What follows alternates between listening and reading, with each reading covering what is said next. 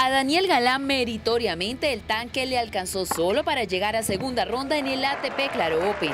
El bumangués tuvo que encontrarse con Ivo Karlovic, siembra uno del presente torneo, pero ni con todas las ganas que le puso el juego, Galán pudo superar al croata que lo venció 5-7, 6-1 y 6-3. bueno, era un partido muy apretado, ¿no? Un servicio tremendo, el primer set, eh, ni le tocaba la bola de, de Mm, pero al final del set empecé a poner unas que otras en juego y con eso ya lo empecé como a comprometer un poco, ¿no?